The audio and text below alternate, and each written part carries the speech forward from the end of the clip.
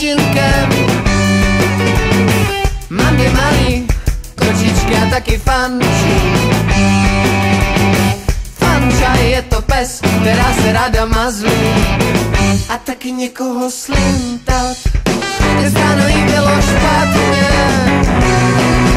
a proto jí kručelo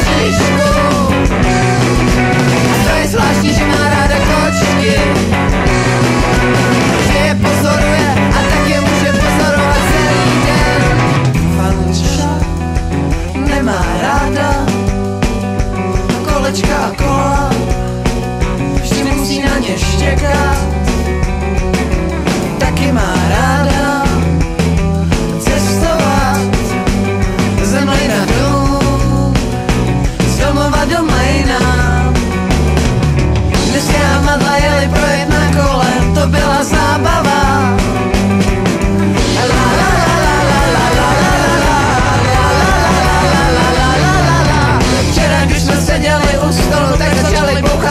Stroje. Všichni se běželi po schodech do sklepa. Já mala tam nešli, chtěli jsme jít poslední. Všichni se tam vlezli, taky frančáž, tam oni vlezli a listrek přestal bouchat. Já a madla se začali smát, to je dobře, že jsme se tam nevlezli.